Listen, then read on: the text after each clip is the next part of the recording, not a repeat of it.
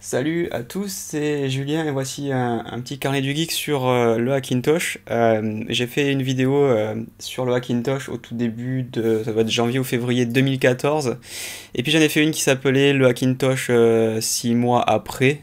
donc c'était pas tout à fait 6 mois après, j'ai un peu triché mais bon c'était 5-6 mois après. Et là littéralement ça fait vraiment un an. Euh, d'où la vidéo d'aujourd'hui, le Hackintosh un an après, ce sera moins long que les premières vidéos. Je vais pas vous apprendre à installer le Hackintosh, je vais pas vous apprendre ce que c'est, je vais pas vous, on va pas revenir sur tous ces trucs là. Vous avez la playlist Carnet du Geek qui doit être à droite là sur la vidéo ou en bas à droite à côté du bouton euh, j'aime. Euh, donc allez voir si vous l'avez pas encore déjà fait. Ceux qui connaissent ces vidéos, je pense que ce qui vous intéresse c'est de savoir comment on vit avec, si vous hésitez à vous lancer et notamment pour travailler avec. Euh, évidemment, si c'est un loisir, c'est pour le fun, c'est pour la bidouille. Quelque part, le retour d'expérience, c'est pas très important, puisque à la limite, si ça marche pas très bien, bon bah, si vous avez fait ça pour le fun, j'imagine que vous avez une autre machine pour bosser. Euh, moi, je l'ai installé. Alors, j'ai toujours, euh, je l'ai dit dans la première vidéo, je fais pas de. Je, je, je vous pas un culte à Apple en particulier, et j'ai toujours une partition Windows, et je travaille encore très souvent avec Windows. Ça veut pas dire que ça ne doit pas répondre à la vidéo d'aujourd'hui, dans le sens où euh, c'est pas une conséquence du Hackintosh. Je pas.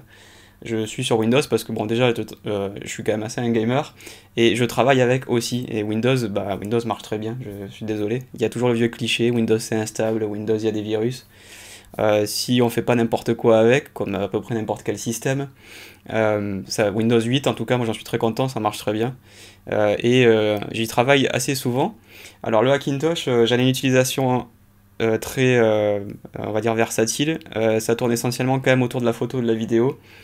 Je fais de la PAO dessus, je fais du montage vidéo, je fais du After Effects, j'enregistre des tutos bien entendu, je retouche mes photos, enfin bon voilà, c'est essentiellement sur la suite Adobe, je travaille pas avec Final Cut, mais j'ai quand même fait un projet que j'ai monté sur Final Cut pour le fun et voir si ça marchait bien sur la Kintosh et je peux vous répondre ça marche bien, je préfère à première mais c'est complètement personnel. Euh, voilà. Donc on va passer par euh, plusieurs étapes. J'ai noté juste euh, quelques petits points dont je voulais vous parler. ma config, pareil, vous l'avez dans la vidéo d'avant. Je vous le répète en 10 secondes pour ceux qui n'étaient pas là. c'est un i3930K hexacore, il y a 32 Go de RAM, donc bon, du coup c'est hyper confortable. Il n'est pas overclocké, j'ai quand même essayé de l'overclocker, ça marche bien aussi, mais c'est juste que ça chauffe et ça consomme en permanence. c'est un peu ridicule de consommer 90 watts en permanence, parce qu'en gros, quand vous le l'overclockez, il tourne à 4.2 voire 4.5 GHz tout le temps, y compris quand il faut rien, donc euh, c'est un peu idiot euh, de consommer tout ça.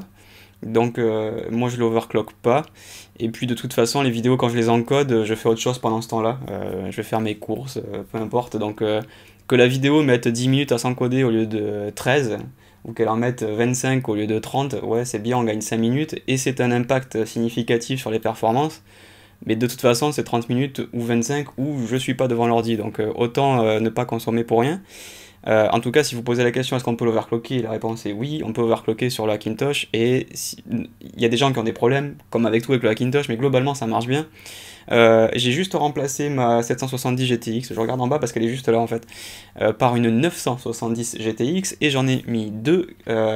et c'est pour à la fois jouer sur Windows parce que je prévois de, de faire des tests avec de la 4K notamment, euh, et aussi pour CUDA, puisque même si le slide n'est pas supporté, et là je vous renvoie à ma vidéo sur le slide OpenCL, euh, CUDA, Crossfire, enfin en gros, euh, qu'est-ce que c'est quand on met deux cartes dans un ordi. Donc je vous rappelle que pour que deux cartes soient, puissent bosser avec CUDA dans le Hackintosh ou même sur Windows, il n'est pas forcément nécessaire de les relier par un bridge en slide, c'est-à-dire de les relier entre elles. Ça, ce n'est utile que pour les jeux en fait.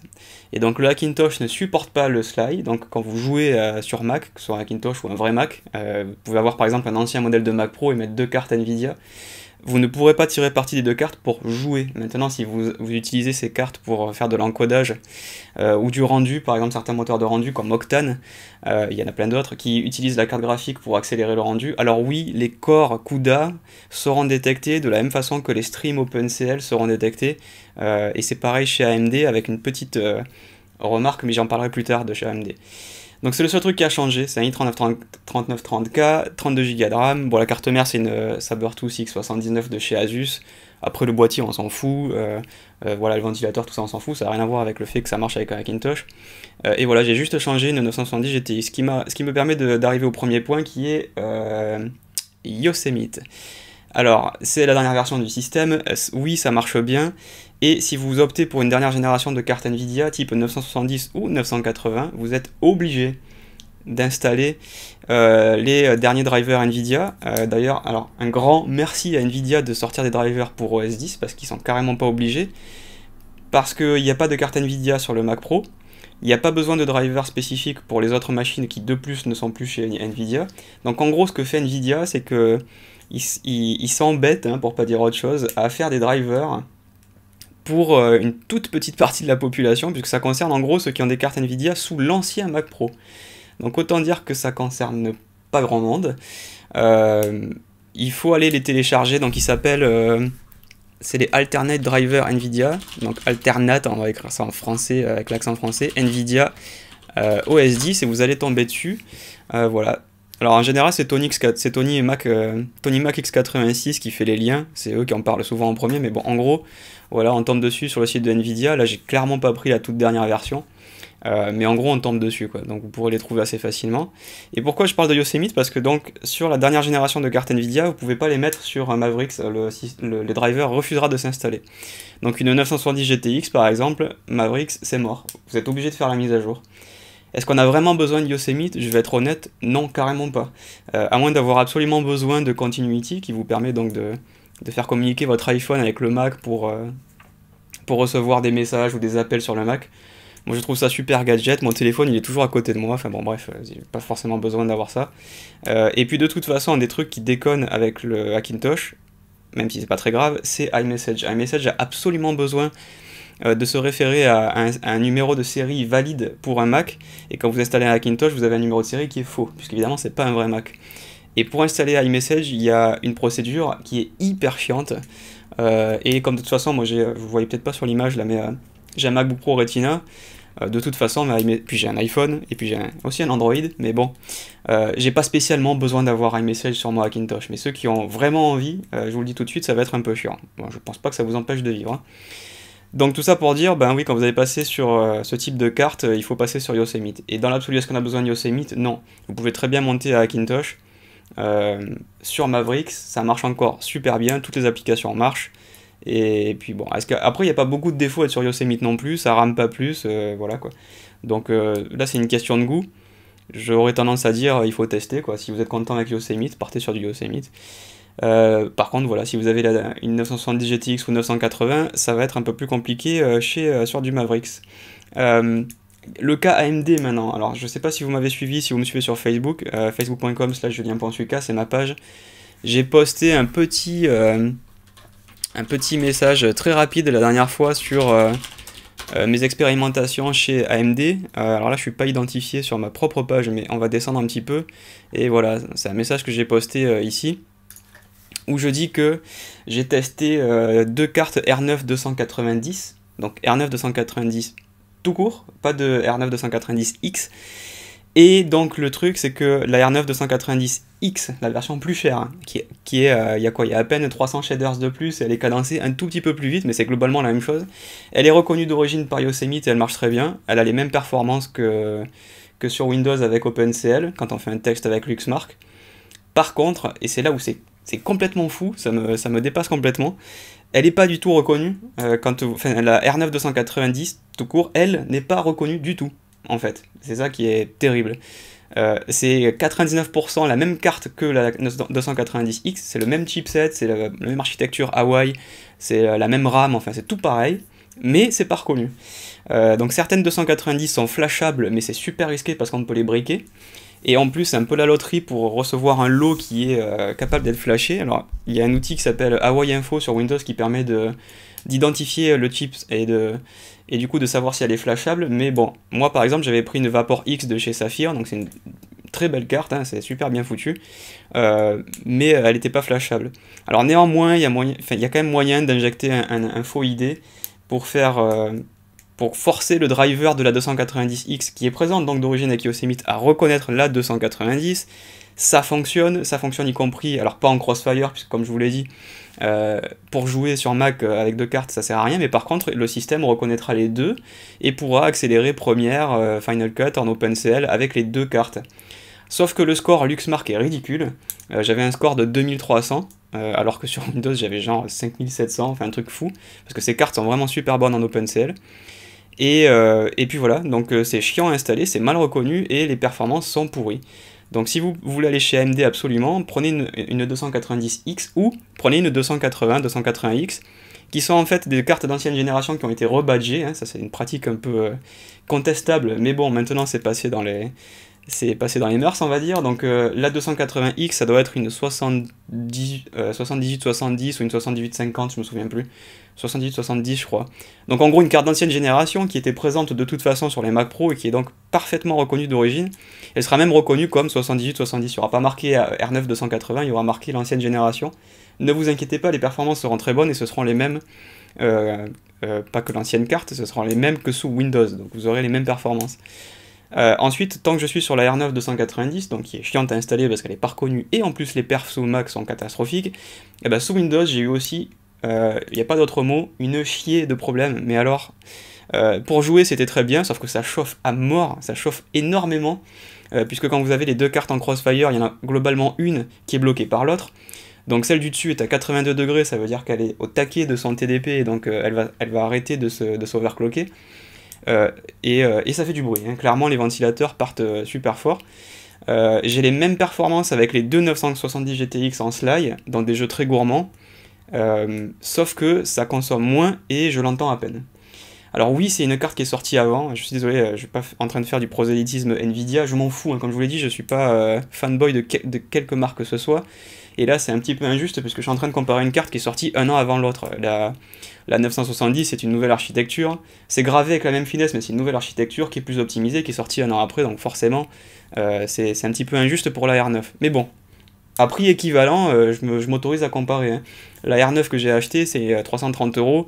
La 970 GTX que j'ai acheté, c'est 330 euros. Donc je suis désolé, je suis en droit de les comparer. Si la R9 était à 280 ou 270, c'est-à-dire moins cher, on pourrait accepter de avoir un truc qui chauffe plus. Mais là, elles sont au même prix, donc bon, c'est normal de les comparer. Donc en gros, j'avais toute une flopée de problèmes pour faire du montage sous première. J'avais des bugs graphiques dans tous les sens. Euh, des glitches comme on dit, euh, donc euh, genre une vidéo mal encodée. dès que je désactivais l'accélération OpenCL et que je passais avec le moteur Mercury logiciel, donc en gros que je perdais toute accélération de la carte graphique, ce qui était quand même un peu con puisque le but c'était d'avoir ces cartes pour les faire bosser, et eh ben ça marchait mieux. C'est pas que ça marchait mieux, ça marchait tout court en fait. Donc j'ai testé de réinstaller Premiere, de changer mon profil utilisateur sur Windows, de, de réinstaller tout le Creative Cloud, de virer toutes mes préférences. Donc je veux dire, j'ai tout essayé. Et non, ça déconne. Alors je suis peut-être tombé sur un, canard boiteux, je sais pas. Mais je pense pas que ça vienne des cartes, puisque les cartes elles-mêmes euh, fonctionnaient très bien dans les jeux, donc euh, même si elles chauffaient, etc. Mais bon, il n'y avait pas de bug ni de quoi que ce soit, donc c'était très stable. Et par contre, sous première, un couple de R9 290, que le Crossfire soit activé ou pas d'ailleurs, hein. euh, puisque comme je vous l'ai dit, Crossfire n'a rien à voir avec euh, le fait d'accélérer les, calculs en OpenCL, c'est vraiment que pour les jeux.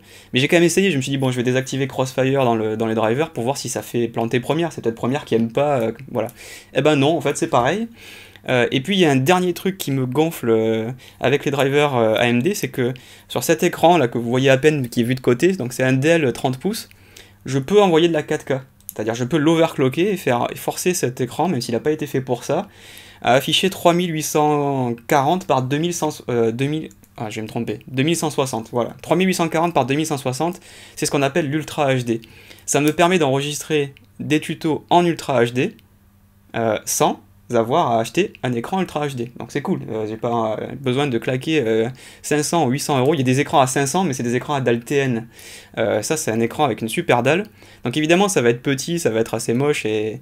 Mais bon, pendant que j'enregistre un tuto, ça, moi ça me dérange pas. Et une fois qu'il est diffusé sur YouTube, vous, vous allez le voir en 4K super propre avec l'interface qui a été scalée, etc. Donc c'est super pratique.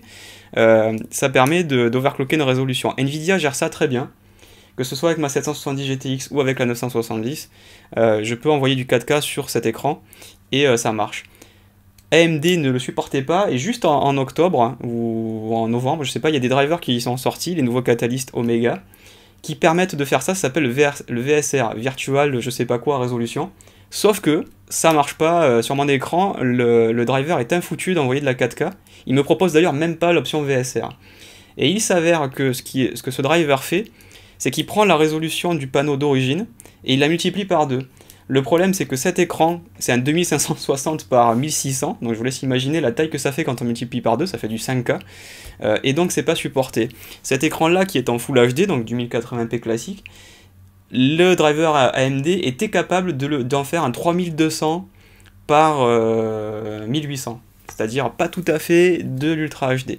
Donc bref, d'un point de vue logiciel, euh, clairement, à matos équivalent, le driver AMD n'est pas foutu d'envoyer de la 4K, alors que le driver Nvidia le fait très bien. Donc euh, c'est bien la preuve qu'il y a aussi un problème logiciel. Donc sur le Hackintosh, évidemment, on n'a pas ces problèmes-là, puisque de toute façon, c'est pas possible. Il faut vraiment bidouiller sévère pour euh, overclocker le panneau et en plus le forcer en affichage Retina. Donc euh, au moins vous n'aurez pas de soucis. Mais voilà, je vous fais un peu le topo sur la R9, y compris sur Windows, pour, pour que ce soit clair. Donc si vous voulez absolument une R9, prenez une 290X, ok pas, pas 290 tout court parce que c'est vraiment compliqué et ça marche pas bien. Et le plus sûr, c'est de passer sur une 280 qui est une carte d'ancienne génération rebadgée et qui est reconnue sans problème avec de bonnes performances dans Premiere et dans Final Cut. Voilà pour le topo sur les cartes graphiques. Euh, et comme je vous l'ai dit au début, si vous prenez la dernière génération de Nvidia, il faut absolument prendre Yosemite. Euh, alors que la, R la R9 280 est reconnue sans problème sur Mavericks de base, sans vous, euh, euh, sans vous embêter à installer des drivers. Ensuite, au niveau de la 4K, puisqu'on en a parlé, la 4K est supportée sans problème. Donc si votre Hackintosh fonctionne et que les drivers fonctionnent, vous pouvez balancer de la 4K et le Retina, je sais que le Retina, tout le monde se dit, mais ça doit marcher que sur les MacBook Pro euh, qui sont Retina, ou sur la Mic Retina maintenant. En fait, non, c'est une option qui est dans le système, qui reconnaît quand la résolution fait le double euh, d'une résolution classique pour ce ratio. Donc quand il détecte un ratio de 16.9 avec un 3840 par 2160, il sait qu'il va en fait envoyer un, 1900, 1920 1080 x2. il va étirer l'interface x2, mais la résolution c'est bien l'Ultra HD. Et donc vous aurez le rendu super lisse, super beau. Euh, donc vous pouvez acheter un écran 4K, euh, le brancher sur un Hackintosh et vous aurez entre guillemets un iMac Retina. C'est-à-dire en gros vous aurez l'interface Retina qui est super lisse, etc. Donc c'est très bien, ça marche. Et c'est compatible Hackintosh pour ceux qui se posaient la question, ça roule, euh, on a des feedbacks là-dessus. Euh, j'ai pas testé moi-même, mais je l'ai vu tourner et ça marche sans problème. Ensuite, au niveau de l'avenir, puisque le truc c'est un an après, qu'est-ce, qui se passe? Donc sur ma vidéo des 6 mois, je disais que j'avais des, plantages, des frises qui étaient probablement dus euh, euh, à mes disques durs externes et, euh, et au fait que c'était que j'en avais une tonne de brancheurs en même temps, etc. depuis Yosemite, ça ne s'est pas reproduit. Donc le système est... Alors c'était déjà stable, c'était vraiment des, des frises une fois toutes les deux semaines, quoi. C'était... c'était vraiment très très c'était comment on dit très espacé quoi ça arrivait pas tous les jours hein, sinon voilà sur Yosemite j'en ai plus euh, au niveau des performances, c'est pas compliqué. J'ai exactement le même score Geekbench et Luxmark. Euh, alors pas avec la 970 GTX, mais en tout cas Geekbench c'est le même. Et le Luxmark est un tout petit peu inférieur, mais Luxmark ça veut rien dire parce que bon Luxmark c'est un benchmark euh, de rendu 3D.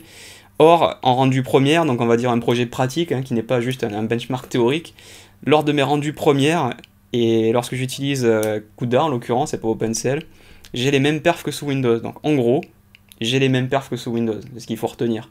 Euh, mon débit de SSD va aussi vite, quand je, mes trucs qui sont branchés en USB 3, ça va aussi vite. Geekbench va aussi vite, quand je fais des rendus premières, ça va, ça va pas plus vite, mais ça va aussi vite. Donc si votre euh, Hackintosh est bien installé, et ça m'a pas pris longtemps euh, de le faire, j'ai un peu galéré au moment de la sortie de Yosemite, et à cause des R9, mais dès que je suis repassé sous Nvidia, hop, ça s'installe sans problème. Il y a 2-3 kexts à balancer dans Kex Wizard, euh, qui correspondent à votre carte mère et je vous invite à consulter le site Rampage Dev qui vous donne des guides tout cuits pour euh, installer sur Hackintosh ou sinon vous faites euh, le truc habituel, Unibist pour faire un disque bootable. Une fois que c'est installé, Multibist pour installer les kex qui vont bien. Vous utilisez le mode Easy dans Multibist et moi ça a marché direct. J'ai rien fait de spécial à part utiliser un kext USB 3 qui était plus optimisé pour aller plus vite pour ma carte mère. Sinon j'ai vraiment utilisé euh, le tuto, quoi. Ce que vous avez sur un page dev, ça marche. Euh, faites gaffe qu'il y a des options de boot, hein, comme d'habitude, à mettre en fonction de votre plateforme. Donc euh, le CPU égale 1 et le NPCI égale Ça peut être 0x2000 ou 0x3000 suivant la plateforme, ou rien du tout. Donc consultez le guide, je ne suis pas là pour remplacer le guide, il est super bien fait, et vous y arriverez sans problème. Et moi j'ai les mêmes performances. Maintenant, au niveau l'avenir, qu'est-ce que ça Est-ce que le Hackintosh a un avenir? Je pense que clairement, le, comme je vous l'ai dit dans les précédentes vidéos, le, Mac Pro est une très très bonne machine. Et l'iMac Retina, c'est aussi très bien pour les gens qui veulent absolument passer sur du 5K euh, c'est-à-dire avoir le délire Retina de super lisse avec en même temps de la place, puisque un écran 5K chez Dell ça va coûter à peu près 2000 euros. Or, à 2000 euros, vous avez un iMac, c'est-à-dire vous avez l'ordi qui va avec. Pour une fois, c'est moins cher d'aller chez Apple, ce qui est quand même complètement fou. Hein. Euh, par contre, au niveau du Mac Pro, le Mac Pro c'est une super belle machine. Si vous mettez tous les composants identiques dans un PC, ça fait le prix d'un Mac Pro. Donc encore une fois, le prix du Mac Pro est tout à fait justifié. Et le Mac Pro va être mis à jour très bientôt, puisque les nouveaux Xeon sont arrivés. Donc il ne fait aucun doute que le Mac Pro sera mis à jour. On n'aura pas à attendre encore 5 ans pour une mise à jour, donc c'est sûr et certain. Le prix ne changera pas. Et ce sera toujours le même délire, un délire d'avoir des Xeon euh, et de la mémoire à, correction d'erreur, ce qui coûte très cher pour, à mon sens, pas grand chose. En tout cas, il y a peu de monde euh, qui a besoin d'avoir de la mémoire ECC et des Xeon, à part le calcul scientifique et vraiment faire du rendu 3D non-stop. Euh, je vois pas l'intérêt. Et pareil d'avoir deux cartes en crossfire, enfin deux cartes AMD de la gamme haut de gamme FireGL, blablabla, avec de la RAM ECC sur le GPU. Enfin, tout ça, c'est ça, ça, connote, enfin c'est pas que ça connote, c'est haut de gamme, donc c'est justifié pour une machine qui se veut haut de gamme. Est-ce que c'est justifié pour des gens comme nous qui produisons en vidéo, audio, que ça peut être de la, de MAO, de la PAO, de la vidéo, donc ils sont quand même des tâches très intensives, et y compris du rendu 3D euh, Je suis désolé, non, ça reste quand même euh, beaucoup de marketing, quoi. Vous payez le prix fort pour un truc qui vaut ça, mais est-ce que vous en avez besoin? Et en même temps, Apple ne va pas sortir un Mac Pro avec juste un i7, avec de la mémoire normale et des cartes graphiques normales, parce que ce serait plus un Mac Pro, ce sera en gros un iMac mis dans une jolie boîte.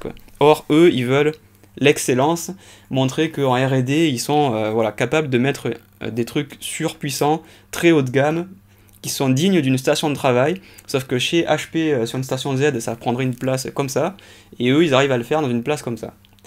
Et, c'est pour ça que je les admire. Je trouve qu'en termes de RD, je l'ai déjà dit 100 fois dans mes précédentes vidéos, le Mac Pro est une réussite. Est-ce que nous, on a besoin de payer 4000 euros pour ça, voire 6000, voire 8000 euh, Clairement, non. Euh, je pas du tout justifié, euh, y compris pour des gens comme nous qui font de la vidéo et de la photo, euh, de, claquer autant de, de blé là-dedans. Alors si vous avez le budget, c'est clair que vous aurez une machine qui est plus silencieuse que mon Hackintosh, qui est plus petite et qui est plus élégante. Euh, moi là j'ai une tour, vous la voyez pas. Bon, le boîtier est entre guillemets joli parce qu'il correspond à mes goûts, mais c'est clair qu'il est plus gros. Euh, c'est clair que je me suis euh, entre guillemets bien emmerdé à monter la machine, donc il faut se la monter, il faut ensuite installer la Kintosh, donc c'est pas facile tout de suite. C'est pas du tout la solution confortable. C'est une solution qui m'a permis à, à, performance équivalente d'économiser 2500 euros. Bon, ça fait quand même de l'argent. Et, euh, ça fait en gros, j'ai payé euh, moitié prix par rapport à un Mac Pro. Euh, donc, et je peux pareil booter sur OS 10, sur Windows et aussi sous Linux si j'en ai envie, mais bon, sous Linux j'ai pas grand chose à y faire. Donc le Hackintosh a carrément un avenir, puisque c'est a priori pas demain que Apple va revenir à des machines dans lesquelles on peut mettre les mains. Sur le Mac Pro, on peut a priori changer le pros, mais bon, Acheter un Mac Pro pour bidouiller derrière, je trouve ça complètement stupide. Si j'avais 4500 euros à mettre dans un Mac Pro, c'est justement pour le confort d'avoir rien à toucher, d'avoir un truc tout prêt. Mais bon, donc on peut pas vraiment dire que c'est une machine évolutive, tout passe par l'externe avec le Thunderbolt qui coûte une blinde et qui en plus a un choix très limité. Donc voilà, c'est vraiment dédié à un public euh, qui, qui a vraiment besoin de passer par Thunderbolt et qui a vraiment besoin d'une si petite machine. Euh, et qui a besoin de facilité. Voilà. Sinon, euh, si vous... De toute façon, en même temps, il n'y a pas de débat. Hein. Euh, on peut pas comparer une machine à 4500 et une... je parle même pas du Mac Pro d'entrée de gamme hein. parce que vous allez me dire oui le premier Mac Pro il est pas à 4500 5000 il est à 3000 je crois un truc comme ça on n'en parle même pas un Mac Pro pour avoir 4 cœurs c'est ridicule hein. les performances sont c'est pas moi j'ai des perfs d'un Mac Pro 6 corps puisque j'ai une machine 6 corps, sauf que je l'ai payé la moitié du Mac Pro 6 corps, donc c'est comme ça qu'il faut comparer les choses. Donc pour moi, le Mac Pro d'entrée de gamme à 4 corps euh, n'a juste strictement aucun intérêt. Quitte à passer sur du haut de gamme, autant avoir du 6, du 8 ou du 12. Ça coûte une blende, mais au moins euh, c'est justifié. Ça coûte pas une blende pour rien. Donc oui, ça a carrément un avenir, et c'est toujours le même problème, on n'a pas beaucoup avancé euh, au bout d'un an. dans le sens où il faudra mettre les mains dans le cambouis, il n'y a rien qui vous garantit que ça va marcher, et ça reste avant toute chose, et c'est quelque chose que je, que je réponds à chaque fois que je reçois un message sur Facebook, parce que je reçois des tonnes de questions sur la Kintosh, ça reste de la bidouille. Si vous prévoyez de bosser avec, par pitié, mettez-vous une partition Windows qui traîne, euh, que vous soyez prêt à rebooter sur un truc qui marche. Si vous avez un boulot, vous faites du montage vidéo. Alors si c'est sur Final Cut, évidemment, Final Cut n'existe pas sur, euh, sur Windows, mais moi, mon Windows, il est prêt à bosser tout de suite. C'est-à-dire que là, j'ai en gros euh, deux stations en une. Quand j'ai besoin de bosser sur Mac, je bosse sur Mac, mais là, je redémarre ça redémarre sur Windows 8 et je suis prêt à travailler dans les mêmes conditions. Euh, avec la Creative Cloud, j'ai droit à deux activations, donc c'est légal, c'est-à-dire j'ai le Creative Cloud sur deux installs et ça marche. Euh, et c'est légal puisque la, licence vous autorise à avoir deux postes.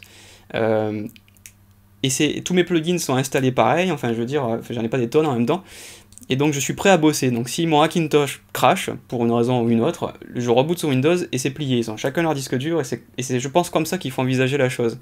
Euh, je reçois beaucoup de messages de gens qui me disent Ah, je prévois de bosser euh, en 3D, en vidéo, en MAO. Et euh, en sous-entendu, ben, ce sera ma seule station de travail. Et là, je réponds danger, ça reste une bidouille. vous allez peut-être faire un jour une mise à jour, en particulier surtout une mise à jour du système. Ne les faites pas tout de suite. Hein. Attendez toujours que que les mecs les fassent en premier, que sur les forums, les gens disent ok c'est bon, j'ai fait la mise à jour. Euh, et je vais vous en parler dans quelques secondes. Euh, ayez un, système, euh, voilà, un second système et séparé sur les disques durs parce que ça peut cracher quand même, ça reste une bidouille. Et donc si vous refaites reposer votre activité, votre boulot professionnel, enfin voilà, votre activité là-dessus, je vous le dis quand même, c'est un peu chaud. Voilà. J'ai pas eu trop d'emmerdes, mais pour moi ça a été stable. Il y a juste eu un truc, pour être tout à fait honnête, quand 10.10.1 est sorti. Euh, donc Yosemite, la première mise à jour mineure de Yosemite, tout le monde a dit c'est bon, c'est une mise à jour mineure, on va y aller. Sur les forums, tout le monde a dit ok, vous pouvez y aller, moi, moi, Macintosh a pas bronché, euh, la mise à jour s'est faite, et puis voilà. Moi j'ai fait la mise à jour hyper confiant, et au prochain redémarrage, le système s'éteint. Euh, voilà, j'avais Macintosh qui marchait super bien, tout était super stable, je fais la mise à jour mineure, et au moment du boot, la machine s'éteint.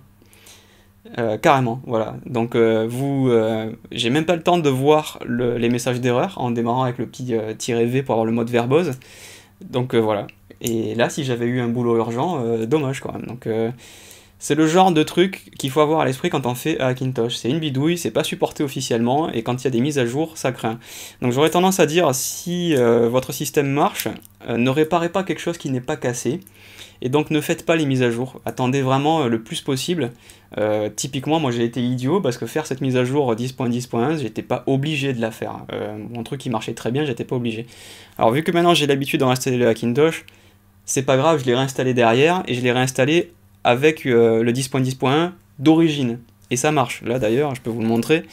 je vais à propos de ce Mac, on est bien sur 10.10.1 et ça tourne sans aucun problème pour une raison que j'ignore, la mise à jour de 10.10 à 10.10.1 euh, m'a tout fait planter. Voilà, ça, fait partie du genre des mystères du Hackintosh, du genre de truc auquel il faut vous attendre quand vous allez faire euh, cette bidouille. Donc pour euh, les configs, il y a des configs qui marchent à tous les coups. Donc le, socket 1150 est reconnu sans problème.